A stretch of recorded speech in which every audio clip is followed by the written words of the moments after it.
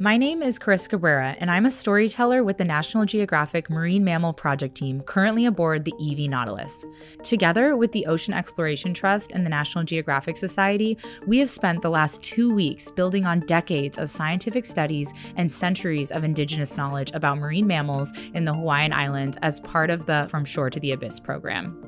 Led by National Geographic explorer Matthias Hoffmann Kuhnt, our international team joined EV Nautilus to test new technology to study cetacean vocalization in the waters off Maui, Lanai, and Hawaii Island. This experience has been wonderful. So we managed to get a lot of dolphin recording data. They've been here at certain point almost every day and they vocalize, some quiet, some not so.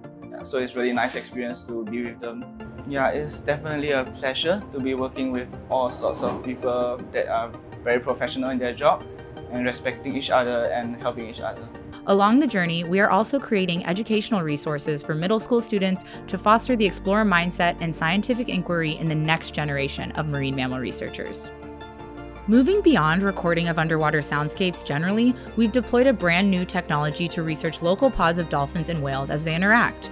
The specialized array combines three synchronized hydrophones, allowing the team to triangulate which individual animals are vocalizing within a pod for the first time. When recorded with videos of animals' behavior, these audio tracks will help researchers understand how marine mammals communicate within and across family groups.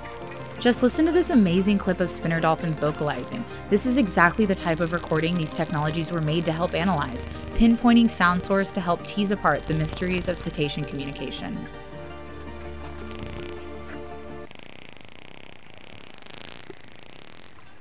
There's so much activity happening on the boat. As Matthias jumps in the water, the rest of the team carefully lowers the additional equipment that will be deployed. It truly is a team effort.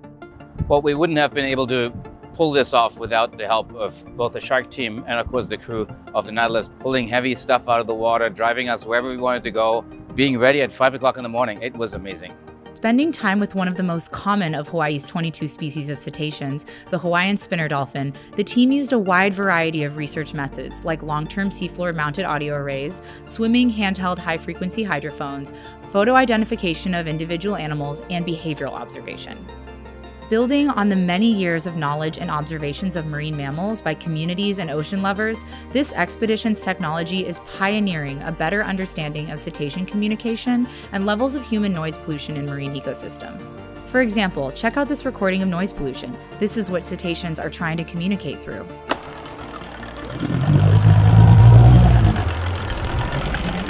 In the future, the team plans to use underwater soundscape recording in different nearshore environments to analyze possible animal behavior changes in response to the noise of human activities, like from shipping vessels.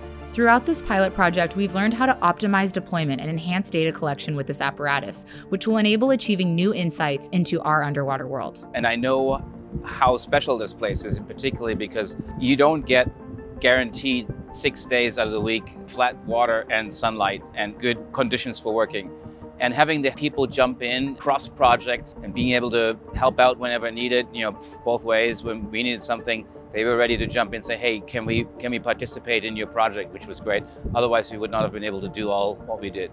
National Geographic Society is funding this explorer led project and four others aboard EV Nautilus to improve our understanding of Hawaii's unique ecosystems, inform conservation efforts, and inspire the next generation of explorers and planetary stewards.